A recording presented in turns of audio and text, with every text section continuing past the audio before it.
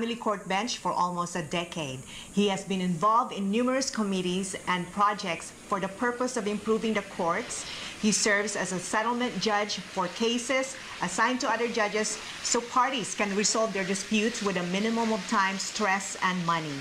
Prior to becoming a judge, he was in private practice for many years, in addition to serving as Clark County's first truancy master. I'd like to give a warm welcome to Judge Bill Henderson. Thank you very much with that introduction. Hi, I was Bill. wondering who you were talking about. I said I want to meet that judge because uh, It's so I'm nice not even. to have you on I my haven't show. So, not a lot of people know that you are my cousin-in-law. That's right. Yeah, you're married to my, my first And that's why I'm going to get just softball questions here instead of any real challenging ones. And he's been a good friend of mine for over 10 years. Oh, a long right? time. Long time. So, Bill, I want to ask you, this is very important. You are also the only judge to be a full sponsor of the annual Pro Bono Awards luncheon. So tell us a little bit about that. I'm so glad you asked that because that's been a pet peeve of mine. Because for years I've seen these cases where one side has an attorney mm-hmm. and the other side doesn't, and the side with the attorney has a tremendous advantage because the attorneys know all the rules. They know how to present the case. Mm-hmm. Now, why does the one person have an attorney and the other doesn't? Well, naturally, in most cases, because one They side can't money. afford. They don't Right. have the money. Mm-hmm. They go to see an attorney, and the mm-hmm. attorney says it's going to be three, four, five hundred dollars an hour, and it may take dozens of hours to handle the case, mm-hmm. and the person's making fifteen dollars an hour, eighteen dollars an hour, so it's impossible. So what I'm committed to, and I think what a, a lot of the judges and legal community are involved in now and committed to, is this pro bono project in order to get people assigned attorneys free of charge. Mm-hmm. And I've gotten involved in a way that's beyond what we usually do from a judicial perspective. Usually judges are good at promoting it, at trying to convince attorneys to accept pro bono cases and to work those cases mm-hmm. for free. Mm-hmm. And I'm involved in that aspect as well. But I That's decided more needs to be done, and I actually need to financially commit to this so that there's more money in the pot so that more people can be provided attorneys mm-hmm. free of mm-hmm. charge. So let's start with something that I read about lately, which really concerns me. I learned that over 60% of current litigants in family court are unrepresented. Uh, presumably because, like what you said, they don't have Yes. money and they can afford it, and they can afford to have an attorney. So, uh, can you elaborate more on that? What special challenges are there um, in dealing with unrepresented litigants? And that's a really good point because the problem with unrepresented litigants is they think it's like it is on television. They can just come in and tell their story and it's a David versus Goliath type thing and that the truth comes out because even though the one side has the high powered attorney, mm-hmm. the downtrodden party, the truth is going to come out and they're going to present it and everything's going to be okay. Unfortunately, that's the fairy tales of mm-hmm. fiction, of movies and books. The mm-hmm. fact of the matter is, though, in actuality, even though we're all committed to be as fair as possible, and we are to the people unrepresented, that doesn't mean the side with an attorney tells their story and the unrepresented person stands up and tells theirs. Mm-hmm. It's not that simple. Mm-hmm. The party that has an attorney controls the dialogue, the flow of information. Mm-hmm. They can use all these objections and rules in order to prevent that person from bringing up certain information or from presenting certain documents. That's why it's so critical to have an attorney, and he must do so at that first hearing mm-hmm. because it sets the stage for the whole case. Mm-hmm. The damage that occurs at that first hearing often is not undone. Mm-hmm. So the advice is always, always go to court with an attorney. With Always, anytime it's a Right. contested case, unless it's something simple and uncontested and both parties came to an agreement, I could understand why they may want to save the money. Although even then, it's good to have an attorney review the agreement. But anytime something is at stake, mm-hmm. nothing is more important to people than their children and their everything they've worked hard for to acquire over the years. Mm-hmm. Why would you risk going into that alone? I mean, people don't perform surgery on themselves or don't perform their own root canals, but for some reason, people think they can go into court mm-hmm. and deal with these issues about their property and their children. And the children are the most important things that can happen to them. And no one would think again of doing their own dentistry work, yet your children are far more important to someone than the current condition of their teeth. So, by all means, you need to have an attorney at every step in the custody process, where someone saying things about you that are untrue, you need to be able to fight back and to present your position. Right. So um, following up on, um, and there was some reference um, to this issue during the introduction. What can be done to secure attorney attorney for family court litigants who can't afford attorneys? And that's exactly what this project is ge- geared to, mm-hmm. is this pro bono project. They can call Nevada Legal Aid Society, mm-hmm. they can call pro bono. And the idea is to get more attorneys into this pool because it can be a little confusing because some attorneys work directly for the agencies and they're paid. And they accept the people like Legal Aid Society, if people satisfy a certain financial requirement, they'll accept them. But they have to reject so many people. Mm-hmm. So the project that I and these others are involved in, and other judges, we're all trying to promote this so that private attorneys accept a lot of these overflow cases. And I commend all the judges who were involved in that, and it seems most, if not all of them are. And again, I wanted to go an extra step and actually put some money into that pot so that these lawyers could be paid to represent these people. That's so fantastic. the- it's free to the people, mm-hmm. But the lawyers still eventually have to be paid because we want them to have the inducement to accept the cases and do their best job. So they have to be paid, mm-hmm. and it comes out of this pot. So that's the goal of it all. That's wonderful, Bill, that you do that. All right, thank you. Thank As a community leader and someone involved in so many organizations, I've been approached over the years with people complaining about their lawyers, such as I can't do the work or they're being overcharged. Okay, so the lawyer's overcharging the clients.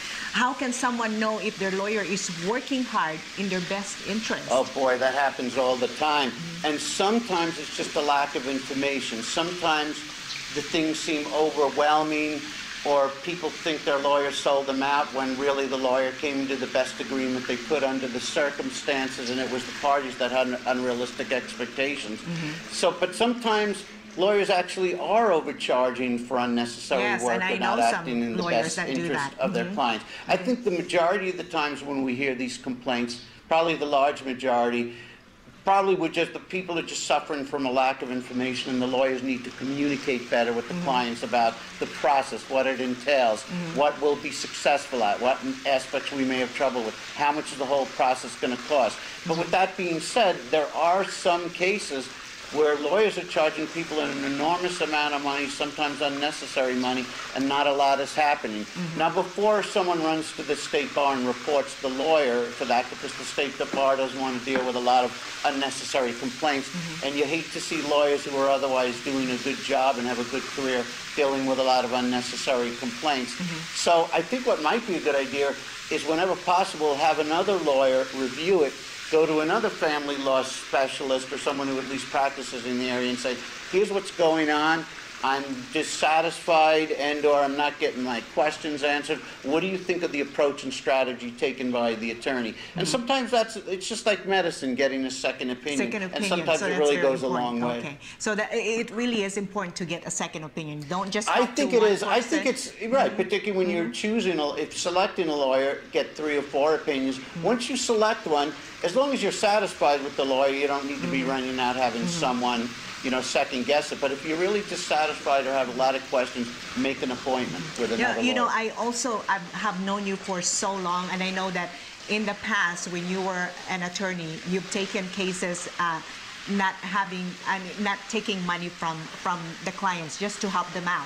So um, let's talk about children born outside And marriage. that's why a lot of lawyers, unfortunately, were more successful than me. And I, I think there were a lot of lawyers like me who didn't earn as much as others, who were maybe better than some lawyers that were earning a lot. And that phenomenon is still going on today. Mm-hmm. You can't necessarily judge the best lawyers by how much they're earning. Some of the best advocates who come into my court. I agree. are soft-hearted Uh-huh. for a hard luck story or Yes. something like that, and they're just not charging what they should. I agree, and and you were you were one of those. I appreciate that. And, And there's um, so many others who are out there doing the same. Yes, I, I completely agree. Now, um, what are the main misconceptions uh, parties have about legal process in family court? Because there's a lot of misconceptions out there. I think one of the main ones, and we just hit on that with the a person unrepresented, where people think that the truth will come out or that it's pretty easy to demonstrate, and if the other side is lying, it should be pretty obvious that I can make the truth come out. And the fact of the matter is, again, it's only that way in fiction. In real life, the judge wasn't a fly on the wall at your house. He doesn't know he, he or she doesn't know what was going on. So it's not enough to just present something and have some lawyer object and say you shouldn't be allowed to present it. So first you need to even the playing field and have a mm-hmm. lawyer so that you know that you can at least bring forth what you perceive as being the truth. Mm-hmm. That's number one. And a second misconception or thing, matter that they're not aware of is how much it's going to cost. They know what the attorney charges as a retainer, but I think they're generally entitled to better answers than they receive when they say, How much is this all going to cost me? And the lawyer says, I, I don't know, it depends how much the other side fights or what lawyer they handle hire. And that's all very true. But with that being said, I think most lawyers can give a ballpark based on who the other side has and who the judge is and what the issues are that are being contested. They should be able to give people a general idea as to whether this is a case that's going to cost 5,000, 10, 15, 20,000, 50 or 100. Mm-hmm. And when we're talking about 50 or 100,000, mm-hmm. those are the cases where only people earning a few hundred, hundreds of thousands a year can afford. Right. And yet there are some lawyers mm-hmm. who will take a retainer and they know it's going to cost 100,000 to get to trial. And it raises the question, should have they accepted it when the person only earns 48,000 a year and the lawyer will then have to withdraw his or her services before trial and leave the person, when the person's not able to pay for it, and leave the person representing themselves. So a, a misconception, or at least an area where there needs to be much more clarity, is how much may this whole process cost? And if they know that in advance, they can pick their fights carefully about what issues they should come to an agreement on and resolve, and which ones they should fight. Some a third misconception is just how long everything takes. You Right. see, as again in the half hour or one hour television program, they in the one hour drama, they have to have that whole matter resolved in an hour or 48 minutes if you count Right. commercials. In real life, these things have a carbon half life. They go on and on and on. And some, can- you know. some, some lawyers are also, um, uh, they're not honest uh, to their clients. They would say, oh, you're going to win, or they, they don't, as, as long as they get the money. I think that's another problem. Mm-hmm. Is you need to cli- give uh, your client realistic expectations. Glad you brought that up because that's another uh, common misconception or problem. So we could add that to the list as a, a Right. Fourth major issue. Is that lawyers to get it's tough for lawyers because to get the client and to get them to sign up, a lawyer has to straddle that fine line. They have to be conf- confident enough to instill in the client a feeling of security. This lawyer is going to be fighting for me and to get results that are that I need and that I desire.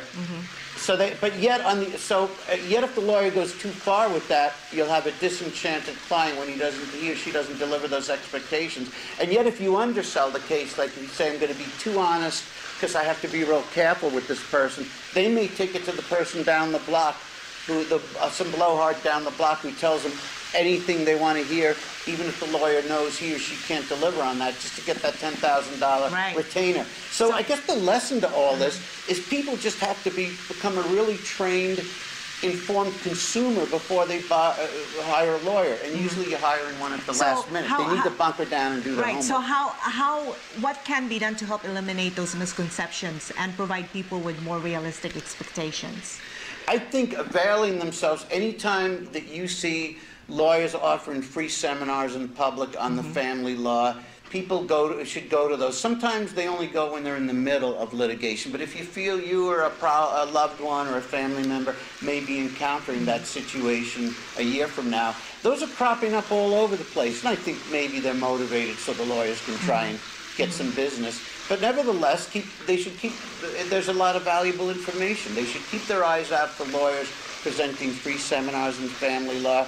They should keep their eyes out for, like UNLV and community college, have these courses where, these pro bono type courses or legal service lectures or seminars mm-hmm. where they teach people who are representing themselves how to represent themselves if they're forced to, or provide sources of if you're able to afford a lawyer of a reasonable price range, Right. here's where you can go, just to Yeah. keep their eyes out open and to contact the Mm-hmm. legal aid center, see if they qualify for a lawyer, because information is knowledge, you know. Absolutely. Now, uh, this is very informative, Bill, and I think everybody need to know this.